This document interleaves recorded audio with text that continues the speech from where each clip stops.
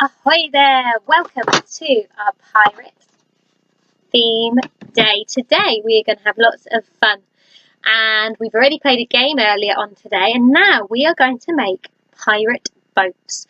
So you need your adult for this and make sure adults you're there the whole time through the session and all sessions are participated in at your own risk. Now for this you can have whatever you like really out of your craft things.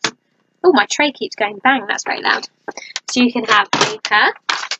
Let's get rid of that tray, that's annoying. You can have some paper. You can have maybe a cup. You can have a box.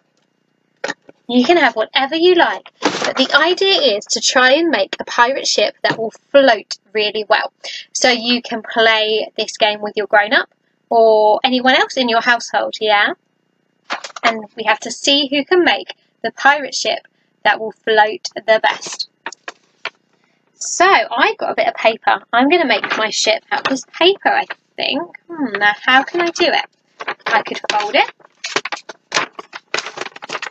A bit like an aeroplane.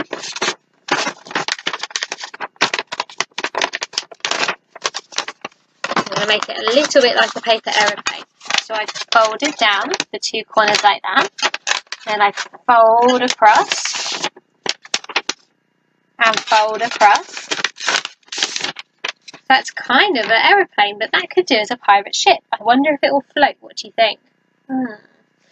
Now I could stick something on it. Let's see, what have I got in my box?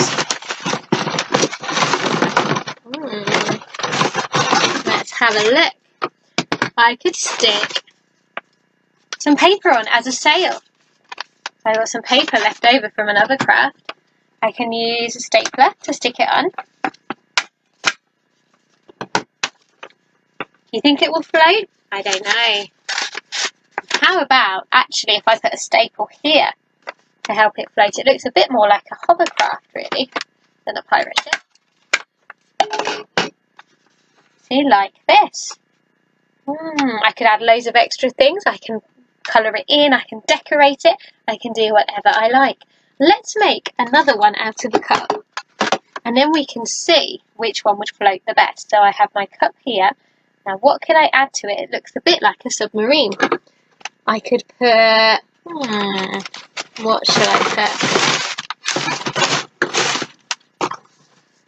I could put some strings in for decoration.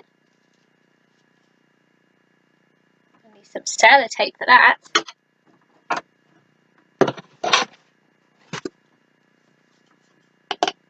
Okay.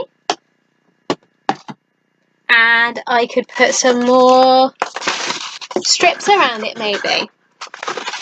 Or maybe, if I put its lid on like this, I could sellotape it round and then it does it like a submarine. And I could try and make a sail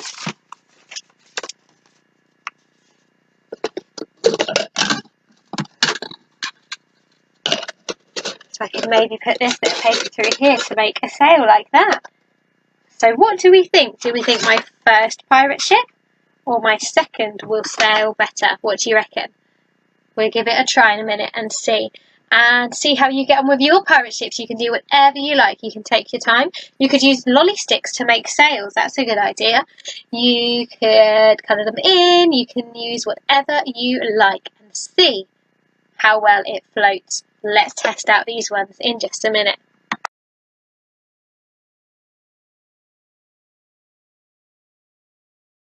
Right, stormy seas. Let's see how we do. Okay, it's floating quite well. And second one. They're both floating.